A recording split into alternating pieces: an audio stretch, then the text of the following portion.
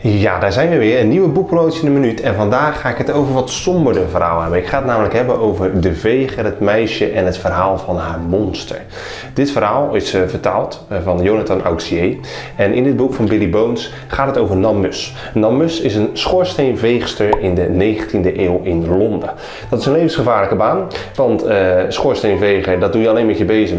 En vervolgens waren er geen apparaten voor, dus je moest je door die schoorsteen heen wurmen om dan te zorgen dat het eigenlijk goed afliep. Dat die was. Nou, dat had, nam de nodige risico's met zich mee. Dan moest een heel arm meisje, die is opgevoed door de veger. Maar de veger die is verdwenen al een jaar of vijf. En eigenlijk elke dag hoopt Nan dat hij weer tevoorschijn komt.